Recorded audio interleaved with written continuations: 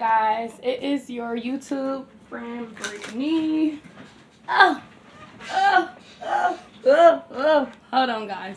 Let me fix myself. How I'm gonna be. How I'm gonna be. I'm okay. Yeah. This is awkward, but David is hogging the living room where I would prefer to sit and do my readings. And I just came on here to hang out with y'all because I was having a little bit of a bad day, a hard time. Man, people be lying. Like these relationships be no joke. I don't know what people be doing with their lives. With all this damn lying they be doing and these egos that people have. I know that I have been a um, bit ego driven before at times in my life, but it is very strange to me when a person is trying to convince you that they're one way, but they're actually a whole nother type of way. And so since I just experienced something, I mean, I've been experiencing it for the last couple of weeks now with a certain individual, and it's just like, that's not really my friend. I see it now. That person is their own friend. So I came on here to talk to you my friend, my YouTube friend. Um, somebody could be a awesome writer. You're saying email. Hold on, y'all.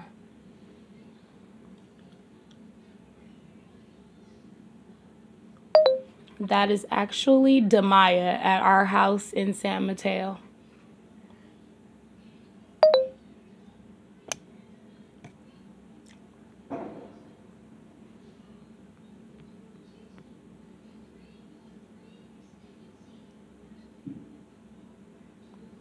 Sorry, I got my ugly ass all up in the camera. I was trying to send a message back.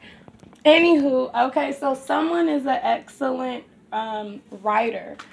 And there is someone who is scared of what people may say if you were to write your book or whatever this writing is that you want to put out, or else spoken word. Someone wants to sing their song or do art. It's like some type of spoken word or written art or singing, but um, they're scared to live this beautiful dream. They're scared to like just to grow and to flourish and to become whoever it is that the divine is calling them to be or leading them to become. Um, they are so worried. You are someone around you so worried. I feel like this is about you. At some aspect of your life where you are concerned that people are going to be shocked by the new you. Now, you don't have to be a writer or a singer, but please let me know in the comment section below um, you can just put I'm a writer, I'm a singer, or put a microphone, or put a put a picture. I mean, put the little pin emoji or something, or or something, so I can know. Um, there's somebody that is scared to come out with their new body. Someone got some work done on their body. Someone has got a new hairdo um, or a surgery procedure that makes their face look younger or look a little different there's something very different about someone watching this video and you are scared of what people are going to think. Or not even that you're scared but you are a little hesitant on releasing coming out after. Okay so it's like you are you are a you were once a caterpillar and you went into this cocoon.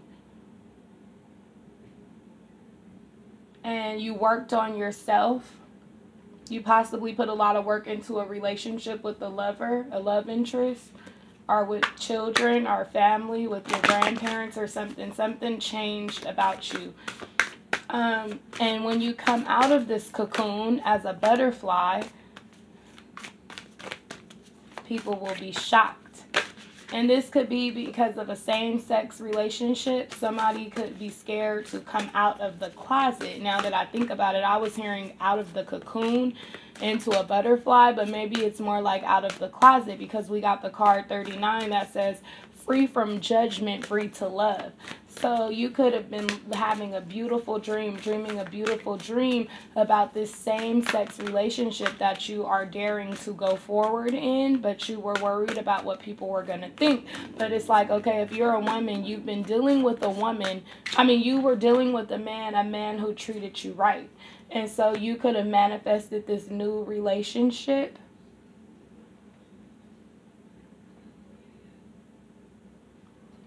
you could have manifested this new relationship with another woman and it's like now you're ready to come out the closet and you don't care what they are going to think. Our spirit is telling you to stop caring so much about what other people are going to think because like you've been told so many stories. You don't know if when you die you're going to heaven hell um what they call that in between limbo um what else they call it? Uh uh something archy what they call it purgatory.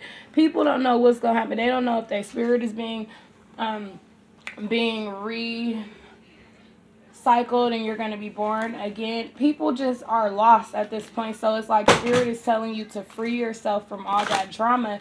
And after the storm come out and be your new person be your new Luke your new you. You're free to love whoever you want. Come close my door david you are free to love whoever you want, and you're free from judgment. You don't have to worry so much about what they think because really, people don't have no heaven or no hell or no limbo, lingo, purgatory, or nowhere else to put you in. All they have is a story that was told to them. Somebody told them, oh, the book says, or those ancient scripts and texts said that, but it's like so many ancient texts and scripts that say so many different things. It's kind of like at this point, you can decide your own. Um, for your mind's sake to release so much of the burden that others have placed on you by telling you how to live your life and that if you don't live like this then you're going to go to hell.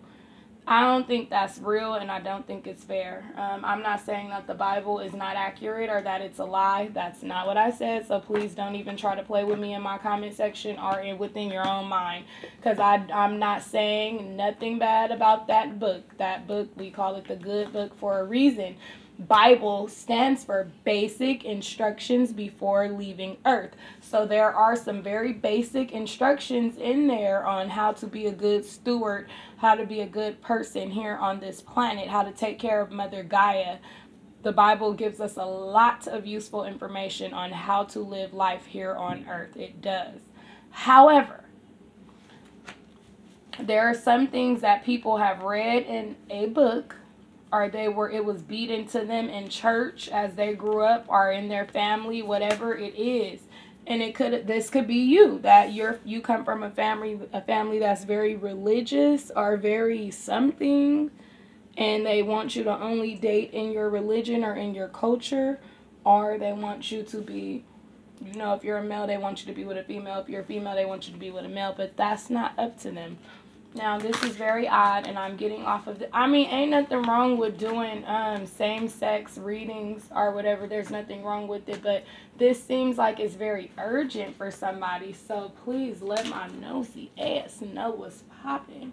Like what's cracking because um yeah, because everybody matters. My life matters, black lives matter, your life matters, our life matters your love life matters. So if you want to be happy and there's somebody that's treating you good and you're happy with that person, you keep the same integrity. Okay, yes, I'm dating a female now and I'm a female, but no, I'm still not a hoe.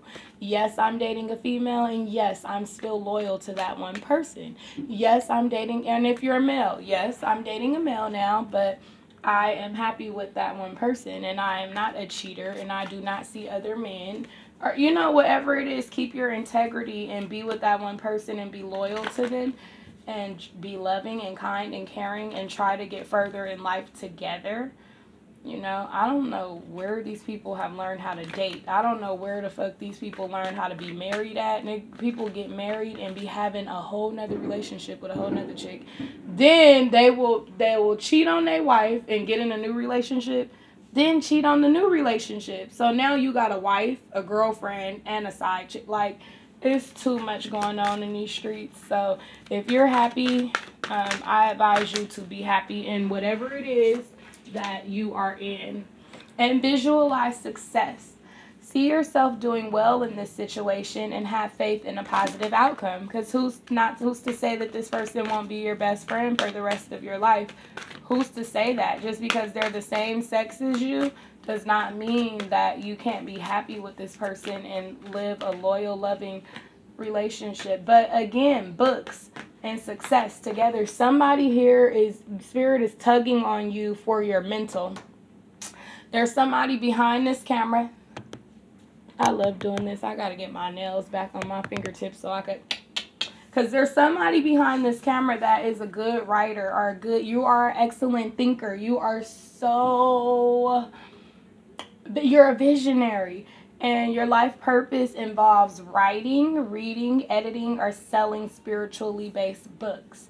So if you're somebody, you could this could be about anything. You could be into the stars, into astrology. You could be into um, into herbal medicine and and plant medicine. You could be into natural skincare. You could be into tarot oracle reading. You can be into um, some type of root work or spiritual practice but you are a good speaker and a good thinker. And so you should be writing down your thoughts. When it comes to this spirituality stuff, like if you have a thought about this, about tarot readings, or if you know anything about tarot, you should possibly be writing books about how to use different spiritual tools to reach a certain um, a certain vibration in life there's so many tools that we can use to elevate and grow, to expand and like widen our mindsets. And I just feel like Spirit is saying that you're somebody that is being led or being called to help other people grow spiritually. So think about that and let me know. Are you writing something? I'm a writer. I haven't wrote. I need to sit down and write also um, spirit is saying that you are profoundly clairvoyant and that the situation that you're in it has a um, basis in one of your previous lifetimes. Ask your angels to help you remember release learn and heal from your past experiences. Trust what you see in your mind's eye as well as with your physical sight. For your spiritual vision helps you with healing teaching and guidance so more about teaching. So visualize success when it comes to these books because you I, somebody here is now everything's not going to line up with everybody but one out of 100 people one out of 30 people something like that somebody here is is very clairvoyant. Your mind your third eye is active. It is working hard. You have visions you have dreams and i don't know if you realize yet that your dreams you are actually the things you are dreaming are actually happening in another realm, in another dimension, in another time, but your body is asleep. But your mind, your spirit, your soul is at play in the cosmos. Um, and you wake up and you have these visions and you know things. Um, or you would be somebody that will benefit very greatly from having some clear quartz crystals around you clear quartz, rose quartz, black obsidian. Um, you probably should invest in a cute little crystal ball um, to go in your house. Um, different things that that spiritually charge your aura and cleanse your aura um, to help you receive messages better, help you understand them better so that you can guide people and teach people. Okay, that's what I have for you, collective. So, um, yes. See you later, boo.